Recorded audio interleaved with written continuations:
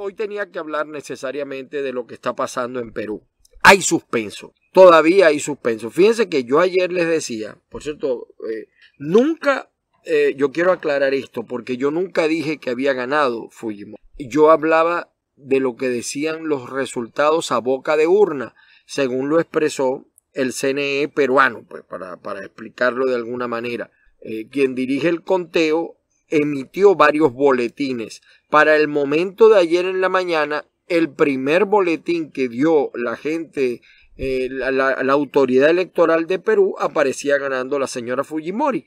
Pero por un margen muy estrecho, como aún continúa el margen muy estrecho a favor del señor Pedro Castillo. Pero recuérdese que también ayer yo les decía que de ganar la señora Fujimori se iba a enfrentar a un Perú que en un 80% votó contra ella. O sea, ella perdió Perú. Y es difícil, es difícil cuando una persona pierde dentro de su territorio gobernar. Es muy difícil. Y todavía hay suspenso, todavía hay posibilidades porque hay algunas actas que no han llegado del exterior. Aquí lo dice el diario El Expreso, voto del extranjero a impugnaciones puede inclinar la balanza. Les puedo informar de manera extraoficial que hasta un 97% eh, va ganando el señor Pedro Castillo. Pero matemáticamente, matemáticamente, todavía es posible remontar. Matemáticamente, matemáticamente. Eh, hay algunas expresiones. Eh, probablemente quien gane de los dos va a ser por un margen muy corto. Ahora, yo ayer les decía eso, eh, el 80% del país está eh, es contra la Fujimori. ¿Qué pasa? Fíjese que el Perú es una quizá la mejor economía de América Latina, la que más se ha destacado en los últimos años. Ahora, ¿por qué vota el pueblo de Perú en contra, vamos a decir, de quien representa lo contrario a lo que ha representado la, la pobreza, la miseria, la destrucción de los países como es la izquierda eh, del señor eh, Castillo. ¿Por qué ocurre eso? Ese es un fenómeno que nos llevará algún tiempo estudiarlo, nos llevará algún tiempo revisarlo, pero seguramente pudiéramos decir esto. Eh, la derecha, perdonen ustedes acá, pero como este programa siempre lo hacemos sobre la, base eh, de lo que está ocurriendo en este momento. Me acaba de llegar una información y estoy eh, revisando. Em, ¿Por qué? Porque la derecha soluciona, pero no emociona. Ayer hablaba yo con un amigo, saludos también al amigo Carlos Alaimo del Partido Centro Democrático de Venezuela, y hablábamos un poco de eso y, fíjese que yo creo que Carlos tiene razón en tanto y en cuanto probablemente la gente no compra el discurso de la derecha que soluciona pero no emociona, mientras que los izquierdistas son lobos con piel de oveja.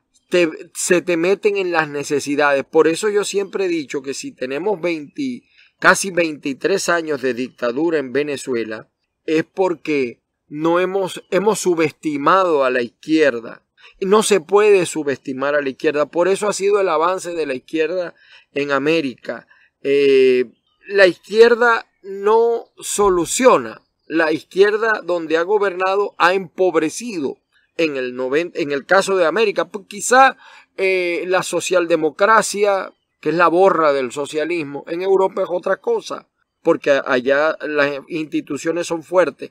Fíjese que en el caso de Perú la institución judicial es muy fuerte. Bueno, como cinco presidentes se lanzó en un, solo periodo. Eh, se quitó del paso como a, cuatro o cinco presidentes, que creo yo, posiblemente un poquito más, un poquito menos.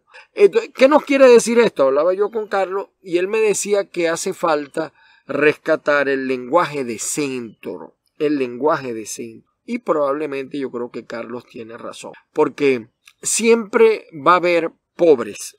En todos los países hay pobres, porque la condición de igualdad no existe como tal. Somos hechos a imagen y semejanza de Dios. Pero si yo trabajo más, si yo me esfuerzo más, yo tengo derecho a ganar más. Tengo derecho a percibir más. Ahora, decir eso así de plano a una persona que se está muriendo de hambre como es nuestra América, con excepción de Canadá, Estados Unidos y hasta allí, pudiéramos decir, eh, es duro. Entonces hay que buscar un poco más hacia el centro. Saludos también a Nerio Romero en Miami y José Flores en Venezuela. Conversamos mucho de política, hacemos análisis. Nuestros varios, amigos que tengo con los que hacemos Luis Rivas en Margarita. Analizamos un poco los hechos. Por supuesto, Herbis Medina, él está en Perú. Y fíjese que en el caso de Perú, yo leía hace un tiempo un análisis sociológico de Edison, Edison Arciniega. Y él tiene razón. El indio peruano, y esto no es peyorativo ni racista, el indio peruano es quizá el más resentido de nuestras poblaciones. Él está contra el blanco, sea español, estaba contra el blanco español o el, o el criollo. Y ese parece mentira, si, si analizamos sociológicamente al indio peruano, se ha mantenido, es el que menos se ha mezclado, el que menos ha interrelacionado y ahora forman parte importante de las votaciones, caso Bolivia, caso Perú. Eh, es un pueblo pues digno de estudiar que tiene, eh, viene con un resentimiento desde la época de la colonia que se ha ido transformando. Un poco lo que ocurre con la gente de color en los Estados Unidos, que ese resentimiento se ha permanecido, se ha desarrollado. Y los invito a que lean algunos documentos de Malcolm X, a pesar de, de lo de lo que se ha dicho del personaje tenía unos buenos análisis sobre el problema racial. Es decir, hay un problema racial de orden político y lamentablemente la derecha soluciona pero no emociona. Eso va, esto que está pasando en Perú, ahí sí voy a, a, cada pulpero lava su queso. Yo lo he dicho, yo, yo predije, o sea, yo nunca eh, he dicho que no va a haber un avance, siempre he hablado de un avance de la izquierda en América Latina porque han trabajado para ello. Los vamos a ver en Chile.